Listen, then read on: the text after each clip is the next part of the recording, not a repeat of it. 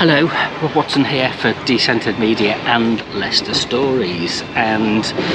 uh, I've put a call out out on the Leicester Stories blog and website for we're engaging in a project with uh, Professor Edward Cartwright at De Montfort University uh, which is funded by the Alan Turing Institute uh, to train some community reporters here in Leicester about artificial intelligence and what it means to live in a smart city.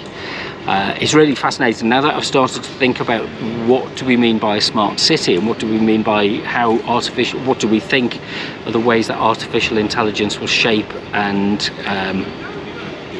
you know kind of characterize our lives in the future it's something that we kind of aren't really it doesn't protrude easily into our everyday existence. But it's you know I'm starting to look at things like bus timetables and Google Maps and um, you know stock how things are stocked on supermarket shelves. They're all data uh, and manipulate, you know, da data products of data systems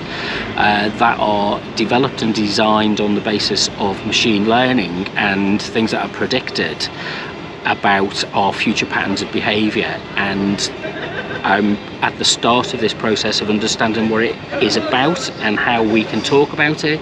but um, we want to explore this in a bit more detail with just ordinary people and through using community radio and community media as a vehicle for engaging in conversations and discussions with people about what this might mean in practice as we engage in things that we do on a day-to-day -day basis in a city, a diverse city like Leicester where you know there is a, a, a multiple language there are languages that are spoken where there are people from many different cultural backgrounds and educational levels in some uh, to, to, some extent are quite challenging um, and that the kind of employment practices that you know the, the employment patterns that are available to people are again very uh, uh, different from some of the national uh, uh, averages in terms of uh, pay and skills required all those kind of things. So what do we mean by a smart city in that context. So a community reporter is somebody who doesn't necessarily have uh, professional journalistic skills, although that might be something that they uh, wish to develop. Uh, but you're really kind of interested, you know how your community works, you know how to talk to people, you know where uh, people are, what they're doing, what they're about, and you can engage with them and you can capture a little bit of that using uh, media. I don't know, you, you might use a smartphone, for example, to record a conversation or to make some observations, you might take some photographs. Uh, we'll train you on how to use audio recorders in order to be able to uh, do things like talk to people and record vox pops and interviews which we can turn into content which can be uh, shared with the community radio stations here in Leicester. Uh, so if you feel this is something that might be of use to you and you'd like to get involved and it's something that you can uh, maybe see yourself doing, there's two uh, things to do. First of all, have a look at leicesterstories.uk, which is the website uh, whereby we've done this before. So we've trained some community reporters last year uh, to help support the messaging and information provision for the census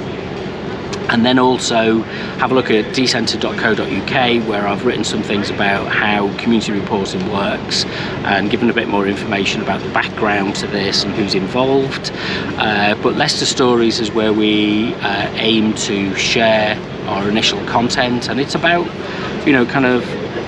uh, finding a way for people to tell and share their stories in a way that is suited to their uh, needs and requirements and mode of expression. Nobody has to be a professional presenter. Nobody has to be somebody with uh, with vast uh, digital uh, manipulate, you know, media manipulation and editing skills. You kind of have to be a bit interested in the life of your community and you have to be interested in telling some stories about that.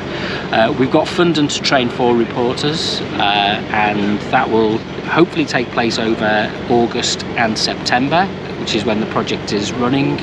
Uh, if you want to get in touch with me and find out more, you can do via Twitter and Instagram. Uh, do it via at Decentered Media or via uh, at LEIC Stories, L-E-I-C Stories.